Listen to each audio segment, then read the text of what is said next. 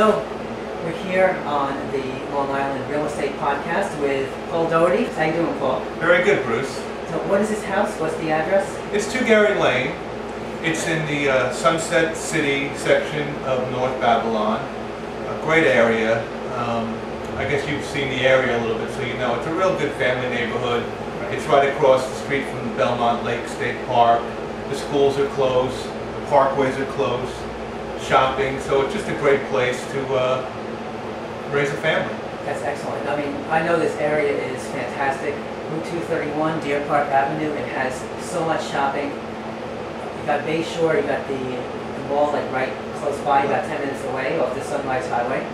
And this park, the Belmont State Park, is beautiful. It's fantastic, you know, and you're close to, you know, you're close to the water, being close to Bay Shore and Babylon uh, waterfronts, not too far from the beaches. So you kind of got the best what Long Island has to offer. So tell me a little bit about 2 Gary Lane in North. I think it's the best starter house in this area. It's listed for 325. It's move-in ready. It has four bedrooms.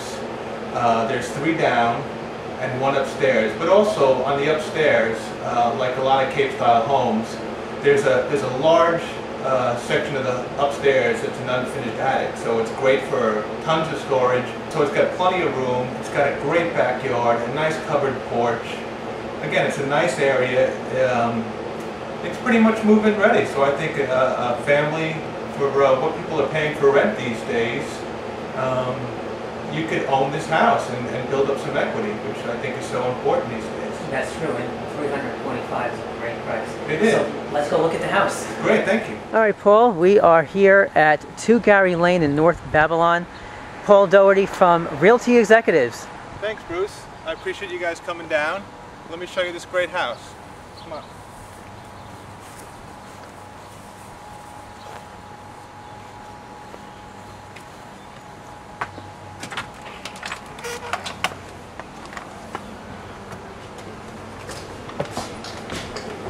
So as you can see as we walk around the house, the home is in very good condition. Uh, this will be your living room. All the windows have been replaced. That's great. You can see we have um, a nice little little dining area. Some might call it uh, eating kitchen or just a separate dining room. I think it's a nice size. Um, this table that you see here is four, but it can easily be expanded to seat six or eight. Kitchen is Definitely got the room for it in the yeah, dining def- rooms. Definitely, definitely. It's you know, it's a it's a great starter home. That's what it is. That's true. Um, as I mentioned uh, earlier, it's got four bedrooms, so you know whether you're just starting your family or you have a couple of kids already, this home is perfect for you. Uh, the kitchen, right through this way. The kitchen's in very good shape. Um, you have a gas cooking stove. A lot of people love to cook with gas. I know I do. Most most chefs do like gas. It's just uh, a lot easier and just just a great way to go. Um, dishwasher, refrigerator, all pretty recent. A decent amount of cabinets. Through the kitchen, we come down to the living quarters. Okay. Uh, full bath. It's clean. It's in great condition. That's great, and uh, it's a nice, nice sized bathroom, and has very clean showers. So, how many baths um, are? This has one one full bath. Okay. But what a lot what a lot of Cape houses do is on the upstairs, it's easy enough right up to bring another bathroom upstairs. The pipes are all here, um, so you can shoot the pipes right upstairs. And uh, as I mentioned, you could make uh, the attic into a fifth bedroom and put a second bath up there. There's also the pipes in the basement. The basement's unfinished, but you could also do it down there, pretty pretty cost effectively. It's uh, and, and, uh, I guess the oil tank is down there and everything. So Yeah, we'll yeah. definitely take a look at the at the basement shortly. Sure. And, So uh, there are three bedrooms down here. okay. this being one of them. Again, you see uh, a lot of windows. You got two closets, uh, oak floors. Two closets. That's something you don't see in a lot of houses. That's great for one People bedroom. need closets, you know. Yeah, definitely. Let's kind of get you from this end too.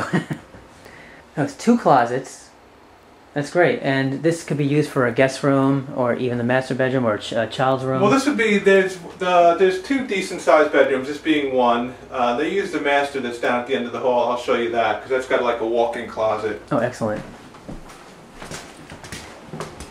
This bedroom here is a smaller bedroom, which would be for a young child, you know, or the baby's room, which you see a lot of houses. So it's got a larger bedroom to this side.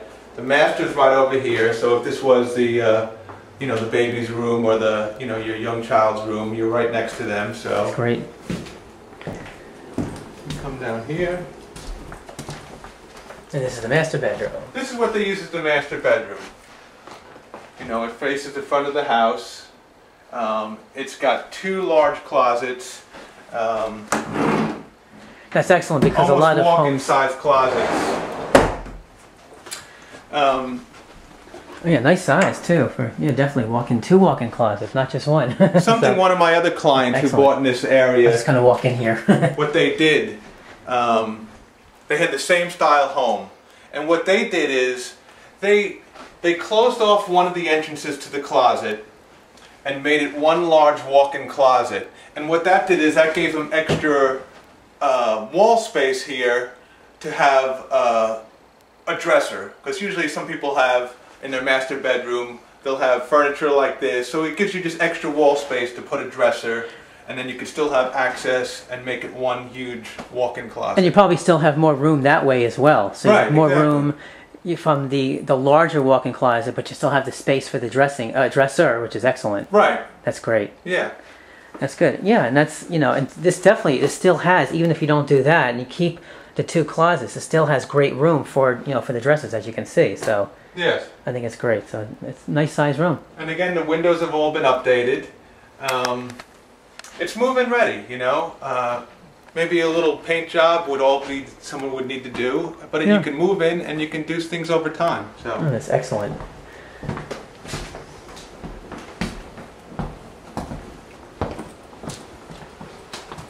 and through the living room.